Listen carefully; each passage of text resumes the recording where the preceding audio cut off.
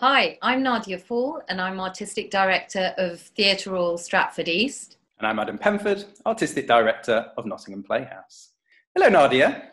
Hello, Adam. this is lovely. it's so nice to be hanging out on Zoom together. Or is it? I'd much rather be in a room with you, but this is the new normal, so it's fine. That's absolutely right. I was trying to think before how long um, we sort of known each other and where we met. It was a while ago. I think it was at the National Theatre, definitely. And I'd been assistant director to Nick Hytner for a few years. And then um, there was a new kid in town, and that was you. And I was like, who is this person? Um, and I was determined to hate you, of course. No, um, but you were so lovely and brilliant and funny, and um, that's where we got. Yeah, that's. I think that's where we became friends. Oh, I think that's right. And now we run buildings in Nottingham and East London. Proper grown ups now. We've grown up, haven't we? It's scary. Apparently, yeah. so you know when you told me about this idea of the revival i thought it was genius especially wanting to talk about work and remember making work when our theatres are closed. So, where did the idea come from? Yeah, um, so I was inspired by a, a long running Radio 4 uh, documentary program called The Reunion.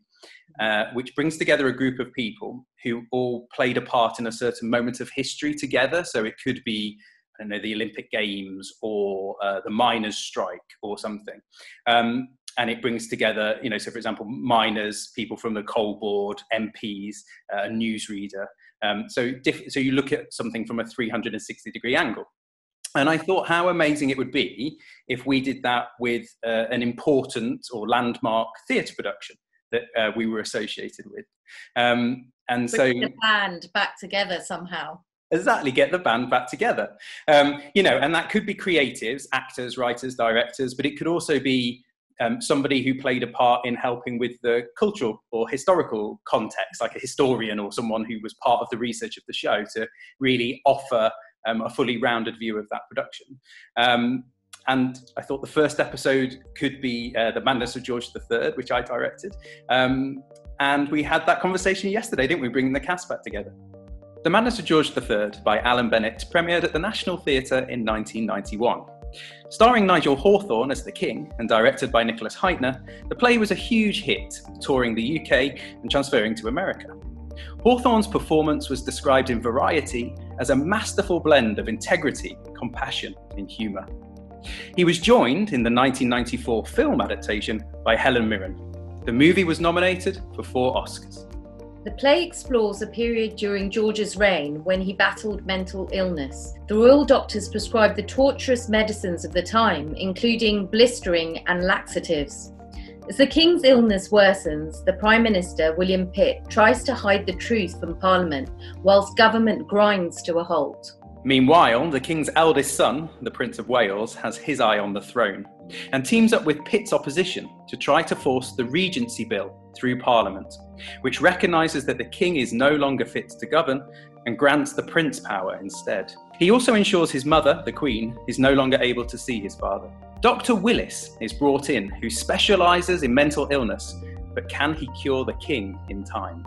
In 2018, The Madness of George III was produced at Nottingham Playhouse. The production was described as sensational, phenomenally good, and theatrical gold, with the Telegraph critic declaring, By George, Mark Gatiss has got it. The production was broadcast into cinemas worldwide via NT Live, one of the first theatres outside of London to do so. We're joined today by Mark Gatiss, who played the role of George III, Adrian Scarborough, who played Dr. Willis, Deborah Gillet, the Queen, Sara Powell as Lady Pembroke, Adam Karim, who played Fortnum, and Professor Arthur Burns from the Georgian Papers Project, whose knowledge of the period greatly helped the cast and creative team during production. Mark, George III, a very challenging role closely associated with Nigel Hawthorne, who played the role originally on stage and in the movie. So, what was your original reaction when I phoned and offered you the, the project? Did you know the play? You you you asked me in person, as I remember, in the dressing rooms at Park Theatre when we were doing Boys in the Band. Um, I was uh, Oh, I, it's weird, isn't it? I, I remember being thrilled actually by the idea. Intimidation set in later on the way home, I suppose. but I, it, I never thought of it. I've played a couple of kings, uh, Charles I, George IV, and uh, eh, but it hadn't really been on my radar, despite the fact I'm a, a huge and long-term fan of Alan Bennett, and uh, so I, I, was just glad you thought of it. Really, I suppose.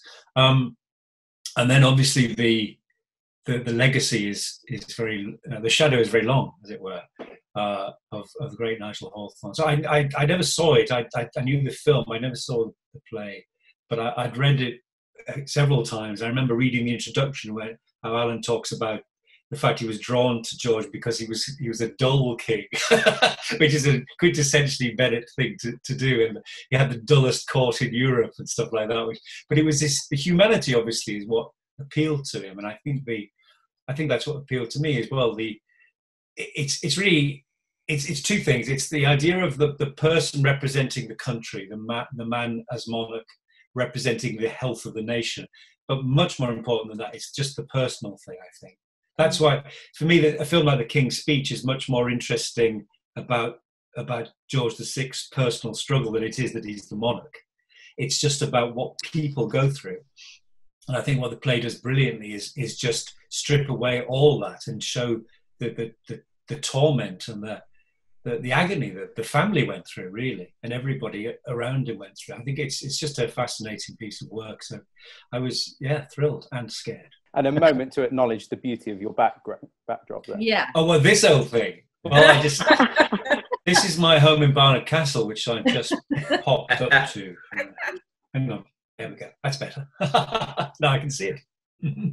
well, I've got a question for Arthur. Um, we know Alan, Alan Bennett um, studied history, read history at Oxford, I think, and they were the original letters at the Windsor Library. But uh, and he struggled, I think, at first um, about deviating from the real historic facts and making a juicy drama.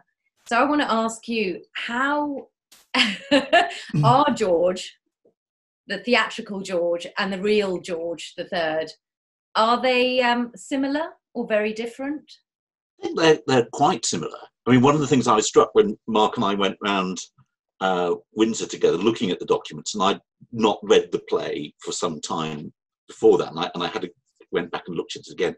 How many of the phrases in that in the in the play actually come straight out of the document or capture the, the, the resonance or the rhythm of the voices you see there. And, and that rather took me aback actually, because he didn't see the original letters on the whole. What he saw were other people's accounts of them or listening to historians talking about them. And I think he captures that really well. He squashes people together, often in rather uncomfortable ways. Um, so Lady Pembroke has got bits of other people in, and uh, so have some of the doctors because there are rather more doctors around in the original.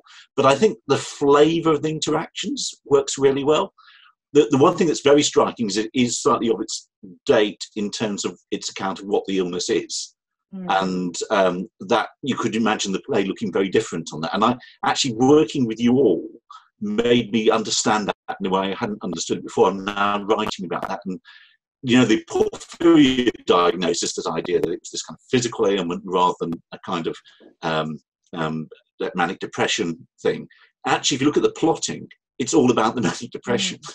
And, and the diagnosis is all just stuck on at the end because the books Alan read to get the plot were ones written at the time and everyone thought it was manic depression. But he was writing it at the point when the, the, the opinion had moved to porphyria. So it's it's really interesting how that diagnosis is sort of there but not quite there in the play. But apart from that, I think it just captures so much. And it's partly because when Alan was at university, it was the high point of the study of this stuff. So everybody was right on top of this material, and I think he was taught by Richard Pares, one of the great uh, historians of this. So that comes through, I think. As um, as you were saying there, Arthur, that you know, Alan was a historian um, and that influenced his interest in wanting to write the play. But he also um, drew on his personal life. And I was thinking, Debs, about the um, there's a bit in Alan's book where he talks about um, his mother had a, a mental illness, and his father used to drive 50 miles every day to the hospital to visit his mum in hospital. Um, he was that devoted, and and and it was because and um, Alan puts it in the play. He says that how will the doctors know when my mum is better because they don't know what she was like before she was ill. And, and, and the. Queen has a line really similar to that. How can the doctors restore him to his proper self, not knowing what that self is? Um, yeah. It struck me that the relationship between the King and the Queen, although there's a formality there, there's a true love, I would say. Would you agree with that? Completely. And I really feel that you got that from the letters as well when uh, you going through them and the intimacy are very conversational and uh, they were a real team. She got what the deal was to be his wife. I was looking back over the research that we did and that she'd sort of written him a fan letter and then he decided that that's the woman that he would marry, even though he had other women that they thought he would marry. And I knew that he was a bit sort of shocked when he saw her. She was a bit of a fright. But they were they she was his she was his homie. That's what I really loved is that she didn't question. She gave advice. She knew what the gig was. She gave him 15 children. She was quite mighty in that respect. That's one thing the play gets right more than some of the historiography that was written before the play, actually, where the where the queen's a rather dismissed figure. There's endless reference to the fact she's ugly and, and so on. Mm. And I mm. think the play helped put her back in the centre of the picture in a way that later people writing about them have actually done rather more with. Yeah, the, the fact that they were quite domesticated. I know they were considered boring, but the living um, at Windsor and the walks, the the red, you know, the church every day, the setting off as family to go strolling. I mean, quite quite simple pleasures, which is really touching. It's it's very touching, I think, and it's, it is really the foundation of the idea of a modern monarchy. And more, it's more, it's like a Scandi novel, a, a Scandi model, isn't it, of how it's supposed to be. And much more yeah. so than our current regime is, in a way. It's it's like a sort of really tight unit. And another relationship that I find is really fascinating is between the women, the Queen yeah. and Lady Pembroke and obviously when the king is going through his breakdown he makes all these really overt advances sexual advances to lady pembroke. And and what do you think that that sarah the relationship is between the two women? Is it one of sort of respect or friendship or solidarity or is it more complicated than that? I think it was pretty straightforward um, friendship um, and support. Really, I, I, always thought that um, the Queen would not. Um, it, it's you know that position is can be very lonely. You've got to choose the people around you quite carefully. And I always thought that Lady Pembroke had been chosen for her utter fidelity and um, and friendship. And you know, at the end of it, um, she was rewarded, Lady Pembroke, with um, with a fabulous house in Richmond, um, to which she lived out the rest of her days. Um, she she was very, you know, she was very loyal and she was very well rewarded for it at the end. I went and had tea there one day um, with my mom. It is actually absolutely stunning. What what what? Yeah. like, yeah, this this was a good reward for all that molestation and abuse. This was worth it. Look at what I've got. Yeah. It's fantastic, really beautiful house she was she was given live out the rest of her days in. But I, yeah, I do think it was always um, it was pretty uncomplicated support and and uh, faithfulness and trust to the Queen. I suppose the complexity around the the royal family uh, and then the, the the politicians, the MPs, and then all the the servants doing their duties. That it's, it's very complex that we had to build that into the stage picture, Adam. And I was I was reading the other day Nick Hytner's um, sort of autobiography. Uh, and he tells this brilliant anecdote that um, someone who was an equerry at Buckingham Palace once approached him and said, uh, when we're training, we're told to watch the film of the madness of George III um, in order to learn how to stand, how to bow correctly, how to enter and exit the room correctly. How did you know you know the historical truth of what all that was. And nick had to reveal to him that they just made it up. It was just pure theatre just it was movement you know. Um, i mean i suppose we spent quite a bit of time on that didn't we? How, playing one of the footmen uh, how did it feel to, to to do all that etiquette? And also standing around for long periods of time. It was watching the nt live and the close-ups that i really began to see the level of detail between the the uh, footmen in when they're through glances how much inner life is going on when they're not allowed to express anything how was that as an actor Yeah, well, I mean, I guess it's kind of useful in a way having those kind of rules set up gives you something to work with and to choose when you break it, then as well, doesn't it? So, as a team, you have strict rules. You can't look at the king in the eye and things like that. I remember, but as the condition worsens and we have to bend and break some of these rules, it's interesting then for the three of us about who did what.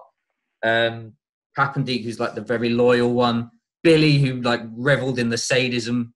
Um, I think, and I think, and then Fortnum myself was more interested in pinching the candles and setting up a shop as soon as possible. it is a good joke isn't it that he's gone off to to set up a provision merchants in piccadilly it's a good True. but true It's true. Yeah, it's true. He did them. They insisted on fresh candles every day, and so he was taking the leftover ones and flogging them.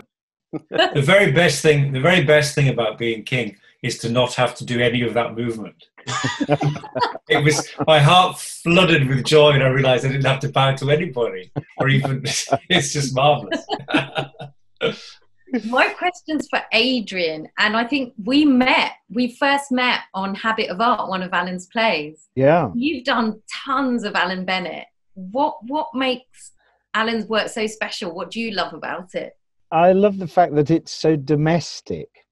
Um, that that's the thing that always makes me smile. It just comes from a from a familial domestic place. I love the fact with this play that it's you know that essentially it becomes about the way that the royals behave. Um, you know, in a day-to-day setting, in a castle or in, in a palace, or you know, with their politicians, it all becomes about well good health for sure but it, Yeah. but it's demonstrated so brilliantly through sniping mostly between father and son um, uh, and just about marriage and just about relationships between people which you know alan writes i think completely brilliantly So well, I mean, he does this thing between ordinary and extraordinary, like you know, everyday people being extraordinary, and then extraordinary kings and queens being ordinary, and Very, he very he's good at that. mundane. Yeah, yeah and very witty and along with it bloody hilarious. Hmm. Adrian, you once told me of a technique during rehearsals. I don't know if you remember this. Um, that if you've got to speak, if, if you're doing an RP speaking character in an Alan Bennett, that there's a way to access the line if it doesn't quite scan. Do you remember what that was? Did I say do it as Alan Bennett? Yeah. Yeah, it's so true. He, he you can you, you you can try out any line really uh, as Alan Bennett to see if it works. And um, it's it, no, it's incredibly helpful because he because he does have a he has a very very particular lilt and a way of speaking. And um, particularly as he's got older as well it's sort of become much more um, whiny uh, the older he's got. And it's also a bit more lispy now because uh, it, probably because his teeth aren't so good anymore i don't know but yes it just to have that tune in your head is a very very wonderful way of being able to bring it to life i think it helps me do do Hamlet. Do Hamlet as Bennett. oh uh, to be or not to be that's the question whether it's nobler in the mind to suffer the slings and arrows of outrageous fortune or to take arms against a sea of troubles and by opposing end them See, I'd listen to that for hours. Rather bloody good. I, I wanted to talk a bit about um, how you approached um, the king, Mark. And I thought it was absolutely, completely disarming the way you did it physically.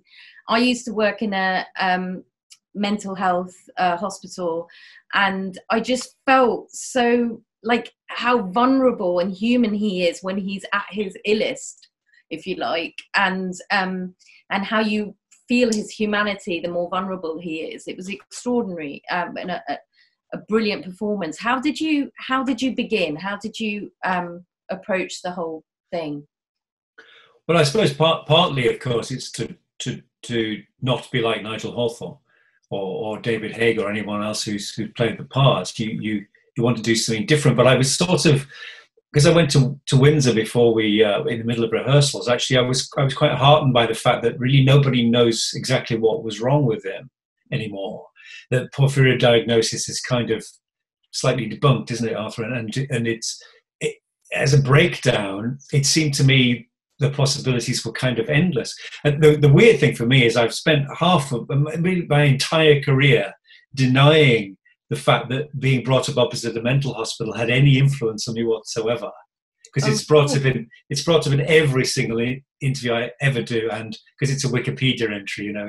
And this this unassuming 1930s mental hospital has assumed the proportions of Arkham Asylum in the popular imagination. And but for this one, extraordinary, it was exactly what I drew on because I, I worked there as a gardener, and and I knew a lot of the patients very well, and and I I drew on all sorts of them, a lot of the tics, and a lot of the the, the strange sorts of manifestations of different kinds of, of mental illness. I drew on directly uh, some of the physical stuff as well. I, I suppose it was that. It was really just I thought, well, he, he has a colossal collapse of some sort, mm. and it manifests itself. Some of it is is is essentially Tourette's, isn't it? It's that, that he says and does the wrong thing. He, mm. he, he, he's subconsciously very attracted to, to Lady Pembroke, and then when when the when the veils are down, he just goes for it, and you, you see that sort of thing all the time in people with various sorts of mental uh, illnesses. They, the, the, the filters go, and suddenly everything's up for grabs, literally. sometimes, um, so it was that really. I I just thought I thought I, th- I think it's this this colossal strain of it. In a way, he's like a lot of monarchs, like George VI. Actually, he's not really cut out for it, but he has a tremendous sense of duty and religious duty too. And I think he just cracked. I mean, he just couldn't couldn't stand the strain of it. And then, of course, um, I think he says that, that actually uh, giving into it is incredibly liberating and but at the point but where Dr. Willis starts to suspect that he's actually slightly putting it on, it's because it's a bit like lockdown. We don't really want to stop now because it's some of it's lovely, and you actually just you know there's an amazing liberation from putting on the straight waistcoat because it allows you weirdly it frees you at the same time.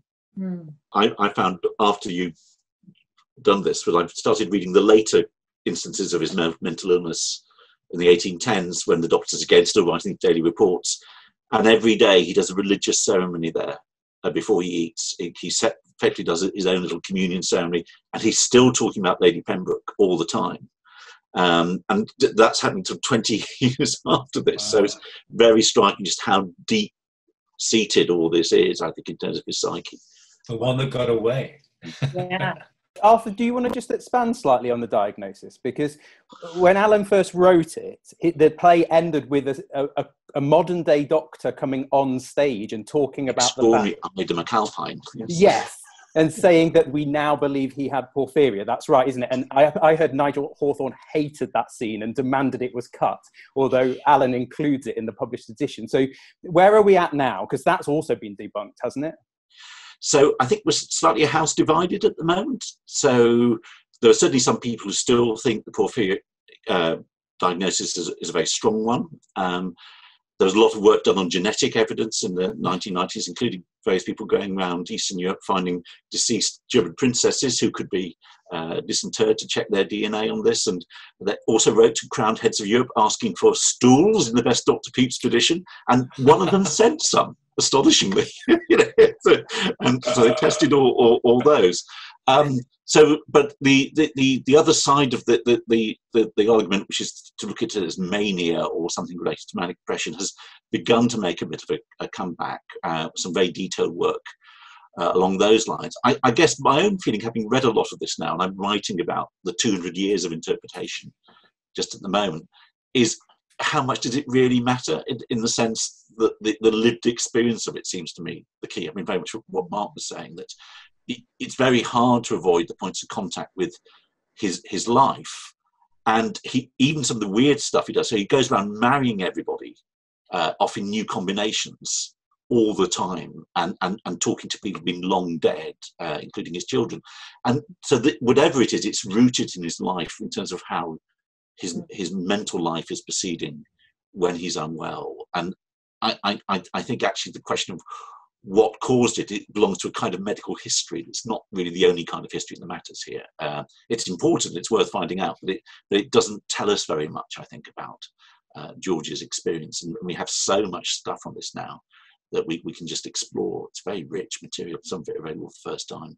And of course, the three doctors in our production were all played by female actors, actresses. Um, so we had gender blind casting, but we also had uh, color blind casting, uh, deaf and disability blind casting. It was, it was a very diverse production, which was really interesting because um, that was generally really well received. A few people wrote in about um, historical accuracy, not just of that, of anything to do with props or costumes. So I suppose I'm sort of conscious of the fact that against the backdrop of Black Lives Matter at the moment, um, it feels like we're making steps forward as the- theatre in terms of representation, but there are probably still more to be made. Um, Sarah, is, is that right? Do you think we've made good steps? I think that's I think that's fair. I think um, I remember when this came out. Actually, it was shortly after um, Madness of George III. The original production was either while I was at drama school or just after I'd left drama school, and um, I went to see it, and it was you know brilliant and enchanting, and we all absolutely loved it. But I sat there, and there were two women on stage and no black people, and I just you just accepted that there was no place in that on that stage in this kind of drama for someone who looked like me, um, or who looked like Nadia, or who looked like Joshi or Adam. You know, there was just there's just no place for us. It was brilliance, and there was there was nothing for us. So this production, I mean, I particularly loved the the three women doctors. They just cracked me up every time they were on stage. I mean, and no reference was made to it, but each one of them, Louise just being so vicious, and um, you know Amanda is just sort of bumbling around as Pepys with her stool. They were just so beautifully. They embodied those characters so beautifully with nothing addressed about you know their their sexuality. They were just brilliant actors, um, and Stephanie portraying those roles. And suddenly, you know, they were there. Adam was there. You know, I was there, and it was Also, any any young people that I met that didn't know the original, they just assumed it, it, ne- they never questioned that it was. They just thought they were women doctors. You know, they just accepted it. It wasn't a, a something that was wrong about it or strange or anything. It was just they were brilliant. Those characters. And they were just beautifully imagined. Nadia as um, Fitzroy, so manipulative and devious and horrible. Without, you know, it was just such a beautiful characterization of that that that role. Um, that yes, it does feel that that we've um, that we, I think there are steps. There's there's a long way to go, obviously, but um, I thought it was really interesting that it worked so well for, as an audience member that you could both look a very historically authentic production, and I thought it really did look authentic in all kinds of ways, and also have this approach to casting at the same time without there being any sort of tension between that. I, I thought that was really interesting. Maybe maybe wigs help in that way in this one, since the, the, the extent to the costume everybody's in. Uh, may, maybe um, it was where the join worked, but it was. I thought it was wonderful, and as you say, you just didn't think about it at all watching. the, Well, you the wigs were fantastic. it's just it's not just the right thing to do i think it just makes theatre richer and more relevant to young people um, and you just you know whenever we sit down we suspend our disbelief and we go with the show and it just it just makes it a lot more alive i think especially for new audiences so It also feels incredible. I think you know, theatre is about 25 years ahead of, of the movies and TV, Right. isn't it? It's something, it, it, it really is uh, just creeping into TV and, and, and films, which are things that we used to do. I don't know if you remember them. Uh, but uh, theatre has, has really led the way. And uh, uh, yeah, I, I, absolutely, as you say, it's, it's a much richer experience. Also, you know, you sit in the audience, you see yourself, you see the possibility you can get there. Yeah. It's it's Yeah. the same as a class division. You just if you don't think it's possible, you don't you don't enter the the thought doesn't enter your head. Yeah. You think, "Oh, that's not for me." And if you just go, "My God, look, it's all there in front of me. It's all possible," then then you you know you're making that step onto the stage yourself in Mm. five, ten, fifteen years, whatever. Um, it's vital. What did you gave want to say? us as well. I remember Sarah at the beginning by casting a wider range and having that extra richness. It means we can tell more of a story as well. So at the beginning, with the confrontation with the king, we have a citizen of the empire there, and that was another piece of the historical story just through presentation that you don't have if you just have an all-white cast. I'd forgotten about her actually, Yeah. And yeah. I and I'm so glad that we made that choice, Adam. yeah, yeah. um, that we made a that, that she was you know bec- we had a lot of discussion about madness didn't we and the, what madness was or what mental illness were and the, the thought that this that this woman may actually have had something in the caribbean that she felt was owed to her and nobody else believed her and what does that do to a human and um, you know trying to kill the old king with a bread knife butter knife sorry um, Fruit knife. I was really pleased that we had made that choice because the alternative was my trying to do a Geordie accent. That's right. We had a lot. We had a lot. We had some. We had some accent workshops, didn't we, Sara? it would have enlightened very good. I- would not have enriched I um, the final production Adrian, I've got a question from the fans. Yeah. Um, Dr. Willis doesn't come on till about halfway through. Mm. What Just before the like end of the first half. your- yeah, yeah. What, what do you do, what do you do with yourself in the dressing room? What's going on? You sit there and you get very, very frightened. Oh, because the tannoy is on. Because and the tannoy's on, but also you're watching everybody coming and going and doing their thing and doing it brilliantly, and they're all sort of hyper and in it and up there, and and uh, it, it- yes, you get really, really scared. but what I did do, um, I shared a dressing room with uh, um, the polymath that is Lord Gatiss, and um, and I would make his tea It's true. For the interval. It's good to be the king. So I would go and I would, before I made my entrance, I would fill the kettles up for, Yes. for the interval, and I would set the biscuits out and the mugs, and I would put the tea bags in the mugs, and I would sort of try and settle my head by uh, by doing something completely different. Keeping busy. Hmm. rituals. It's rituals, isn't Exactly. it? But I tell you what, what's wonderful about it is that you get to hear it every night. And because that dialogue is so juicy and so rich and so lovely, there were loads and loads of bits that by the end of the show, I was sort of reciting off pat because you just, you'd heard them so many times. I just kind of knew them. And now I, I quote the play continually at home. There, there are things now that have just sort of become part of common parlance in our house uh, because they're just so fabulously quotable. It's great. And of course, the, the other thing you did, Adrian, was made an earlier sneaky appearance, didn't you? Well, we don't like to talk about that. We will. I did make an appearance uh, right at the very beginning of the play, but um, yeah, ten quid for the person who can spot me. Push. It's push and pull, isn't it? Scott? that counts, I think. That's an old actor's joke, isn't it? I don't think, I don't think For recent old actors. graduates know what pull, push and pull is. That's another thing that's gone. yeah. Recent grads listening, that's when you got paid a little bit extra to move the scenery around. Doesn't really exist anymore. Um, um, Debs, Mm. um, I wa- rewatched the NT Live recently, and it struck me watching the play um, that it's partly about information management. So the MPs are very conscious of exactly how much their um, the public and the uh, the rest of the Parliament are knowing about this this um, seriousness of the illness.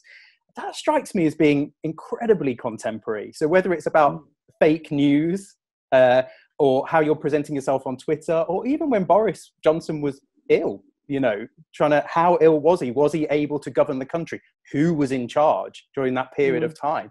Um, I don't know if you agree that it sort of, it feels like it resonates in terms of that. completely feels like no, nothing has changed at all. We don't really know what's going on. You still feel there's a whole world that we are not.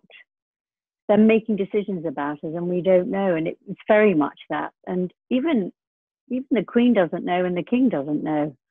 It feels in the play that there's there's just levels and levels of information.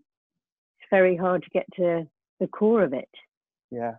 And actually, it's also mark i thinking uh, just before we went into rehearsals there was an article in i think it was the new yorker where somebody called it the ultimate brexit play they said the the Mm. king's nervous breakdown is Very mirroring our national Mm. nervous breakdown around that um, and, and and it feels like it resonated in, in in that way and i remember specifically you had mentions of europe in the text Oh. didn't you Yeah. This is one of the great. This is a great joy of theatre, and I, I, I remember Deborah. Remember when we were doing three days in the country at the National Theatre, Mm.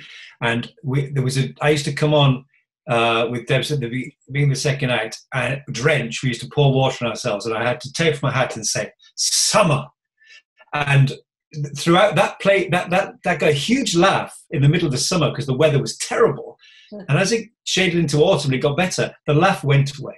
Was it was fascinating, and, Yeah, in- yeah, and, in- and George the Third, uh, there was one particular, one particular matinee, I think, when it was Mm. there was an absolute spike of news about Brexit, and I had to say to Pitt to uh, to Bish, um, "What of Europe, Mister Pitt? Nobody has mentioned that yet." And it was a the response was extraordinary. I mean, it was like the biggest laugh the theatre's had in a hundred years, and then. Even by the Monday, it had slightly dropped because it was just oh, that's the most wonderful thing. It's, it's sometimes without any. I mean, I might have lifted the line a little, but but without No. any pushing, events just crowd in on and suddenly give it a resonance you just didn't expect. You know, it was it was wonderful. It was amazing. Yeah. It just it charted it through the run. the NT live version actually is one of the nights where it doesn't get a particularly Yeah. struck. 'cause I was thinking ahead for that when I was watching it again, and it doesn't. I remember when I saw it in this form back in you know the 1990s. It was the uh, Prince Charles lines that got the laughs then, all that you know, Oh, the yeah, Prince of. Wales predicament stuff, because that's the stuff that Yes. felt really topical then. Now Isn't it's fascinating. I think it, it also means that you know every play or all good plays have a life which which is also unpredictable. You, you could put a play aside for 20 years and think, oh, that's that's had its day, and suddenly turn it over and go, oh my God, it's incredibly relevant. I think that's what that's what happened with Journey's End when uh, David Grindley rediscovered it. It was a sort of sixth form warhorse. and then suddenly you read it, just go, this is the most incredibly beautiful piece of work, and and and, and a great play. I think like George has that. It, it can be all kinds of things, really. I was going to ask about. I remember being an assistant on the very first NT Live. Actually, Adrian, the habit of was it the habit? No, it was Phaedra at, at the National, and um, and I know actors talk about doing an NT Live being a bit weird. Um, Deborah, could you talk about what it's like doing an NT Live as opposed to doing the play, or is it the same? I think it is it is weird because you are playing to the house. So you have a a performance that fills the theatre, but then you're aware that there's a camera. So one feels that it's just too big, too much what you're doing because you're you're allowing for things to resonate to fill the auditorium. So I I I've always felt anxious about that. I'm never quite sure where you pitch it. I know you're always sure, oh, do it as you would always. But then I, I have watched it and I'm so impressed by everybody that you kind of do need for it to be taking in the house because it is a piece of theatre, but you feel like you're there in it, watching in a theatre. So it, weirdly, I think it really works. I won't I won't worry so much about it if ever I if I, I do one again because I've watched other ones. and thought, there's something so thrilling about the sound of the auditorium filling up and hmm. it does it does give you the excitement of of live you're just terrified if you do something wrong or you forget something you drop it because it's there forever you don't want to fuck it up for everybody that's the thing but they really do work. I think they, they, they are theatrical, but then you get the close up every, every so now and then. And then in, I remember a sideways eye that Adrian did in A Habit of Art, which is one of the funniest things I've ever seen in my entire life. Is sideways eye that you'd never see if you were sitting ten rows back. So I think they are special in in some way. It's scary though, aren't they? Do you know, I mean, They are we were quite- so so relieved. The relief when it's over. This is a, Mm. this is a very strange uh, experience for all of us because it was a very short run. Really, it was just under a month, and we actually managed to.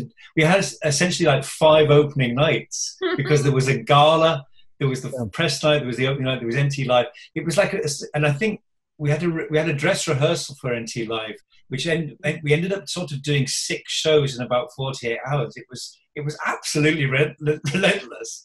And then of course you get to the end of the live thing. It's just oh my god! Thank God we've just got to do the show now.